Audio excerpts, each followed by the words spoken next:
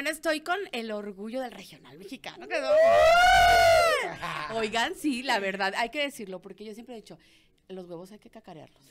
La neta, sí. Porque si no lo hace uno, luego la gente no se da cuenta y pues, son logros y son esfuerzos, es trabajo y es una chinga. Muchas gracias, Tere, muchas gracias por todo el espacio aquí que estamos- nos estás regalando.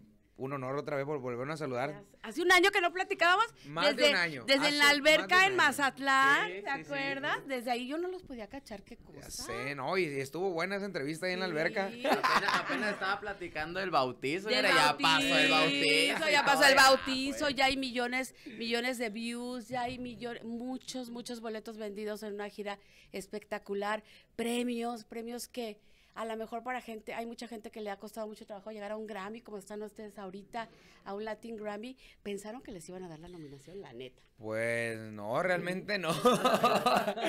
realmente no, pero cuando mm, confiamos también en el trabajo del estudio, en los arreglos que hizo mi compañero Abraham y todos los muchachos. Entonces es bien importante decirlo.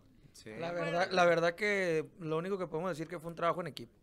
Exacto, Lo pero bien hecho, ¿no? Sí, bien hecho, nos concentramos demasiado, creo que las canciones son muy buenas, tres de las canciones del disco son un bombazo y que nos las corean mucho en el, en el escenario y estamos confiados, que creemos que vamos a ganar y primero Dios, así va a ser. Porque hay que decirlo, ese álbum salió en diciembre, pero lo que pasa es que fue cuando empezó todo el rollo.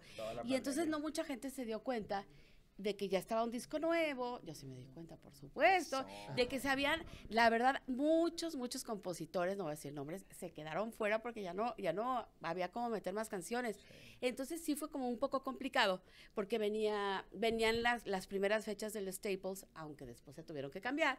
Pero bueno, la historia es que hoy están con ese álbum y no es de covers. No, no es de covers, de hecho no viene ningún cover, Claro. en el disco vienen 12, 13 temas mm, o totalmente originales de composiciones de mi compañera Abraham, un servidor. Viene también canciones de Espinoza Paz, Horacio Palencia, Edén. Eden Muñoz. De hecho, de Eden vienen como dos, tres también, Sí. que son muy buenas. Y ah, es, es- un discazo, es un discazo. verdad La verdad que eh, no- nos apasiona mucho. Luciano, Luciano, de hecho, una de las canciones. Luciano Luna, sí. Ajá, el, el reemplazo es una de las más, más coreadas que eh, la compuso Luciano y también Luis Mejía, Iván, de, vienen, vienen, vienen varios compositores, eh, también mi compa Beto de Colmillo Norteño, el cantante, el primer tema que, que saca y se lo grabamos nosotros. Y es otro muy bonito. Eso, viene, eso es un disco muy variado, pero muy bonito que ha funcionado bastante para nosotros. Y bueno, además, bueno, esta gira maravillosa que viene, viene el Madison Square Garden. Qué emoción, ¿no? Qué, qué emoción y qué responsabilidad, porque yo hace poco veía a Banda MS, fui con ellos y es, es otro mood, porque ya es- eso te lleva a otro nivel. Claro, es, y como dicen, es la cerecita del pastel, Ah, ¿no? sí, O sea, con eso ya vamos a cerrar la gira 2021, entonces estamos emocionados. Fuimos solamente a ver las instalaciones, a ver cómo está el lugar y estamos sudando. Que nerviosos. Entonces, el- imaginar llegar ahí y que esté lleno, porque te digo que ya está Eso. sold out, ya se cantó el sold out del, gracias a Dios, del Madison Square Garden hace una semana. Entonces, ya se nos, se nos hace, ya queremos estar ahí. Ya quieren estar ahí, pero también la gente quiere que vayan a México. ¿Es cierto que, se- que van a Guadalajara primero? No. No. ¿Quién dijo eso? A un estadio, a un estadio así como muy, muy grande. No, todavía no, no, no está confirmado nada en México. Pero eh, algo grande, ¿no? Vamos a ir, si Dios quiere, estaba en pláticas, tenía, teníamos en diciembre eh, el Foro Sol en la Ciudad de México, Ok.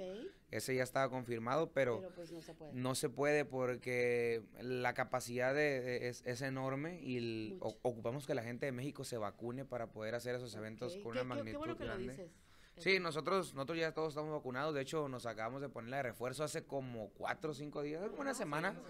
Hace- hace- menos, hace una semana. hace una semana nos pusimos la, la vacuna de repuesto y... ¿De repuesto? ¿Cómo se dice? ¿De refuerzo? De De refuerzo. Es la desvelada, Tere, perdón. Te vi, te vi. Te vi en el.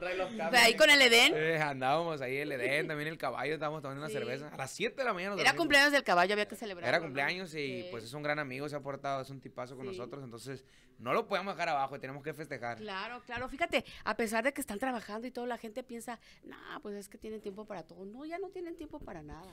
Ahorita es, es algo complicado, realmente eh, el, o, o descansas o sacrificas tu descanso para poder divertirte, que fue lo que pasó anoche. Está No, bien, dormimos, pero teni- valió la pena. nos divertimos. Nos divertimos Pero mucho. se divirtieron. Y ahorita, ahorita vamos a seguir continuando con más entrevistas y ya nos vamos a ir a descansar. Entonces, el 2022, que ya está a la vuelta de la esquina, esperamos ya verlos entonces, ahora sí, ojalá en el Foro Sol, en Guadalajara, en Monterrey. Primero Dios, vamos a, a ir. Tenemos muchos eventos que quedaron pausados para, para poder hacerlos allá. Pero le, le- le repito, tiene que vacunarse la mayoría de la población porque eh, hay, hay muchos eh, eventos que se están llevando a cabo en México, Sí. en el país mexicano, pero eh, es con un cupo limitado. Mucho, y eh, ustedes ya, digo, no es sangronada, No, no, pero no, ya la claro verdad, no. cualquier, o sea, no, Claro. tienen que buscar un lugar grande. Exactamente, claro, no, jamás es, es, es Un un, come- un comentario con ego, No. claro que no. Simplemente eh, queremos lo mejor para el grupo y hacer un solo evento, Así pero con una magnitud, el show el completo. Eso te iba a decir el show que merece para que lleven todo, todo lo que ustedes ponen en un escenario de una arena, ahora de un Madison Square Garden, que lo lleven también a México. Sí, ¿no? claro, la gente, la gente de México se merece ese show, se merece ese respeto. Nosotros ya estamos que se nos cuecen las aves, queremos, queremos ir a México, queremos estar con nuestra gente, pero como dice tienen que vacunarse, tenemos que, tenemos que hacerlo de la manera más segura. Más bien, tenemos que hacerlo de la manera segura. Claro. Nosotros ya no, a nosotros no estamos esperando a que nos digan ya pueden para correr para México, pero Exacto. con el show que la gente merece, un show 100% firme, 100% Claro, que lo que que lo que vean aquí lo vean allá y mejor, porque es lo que la gente se merece. Claro, claro, claro. Claro, se lo vamos, merece. vamos a estar esperando, muchas gracias, muchas felicidades, son un gran orgullo, gracias, gracias. de verdad, para el regional mexicano, y se los digo yo que tengo como cinco años en esto.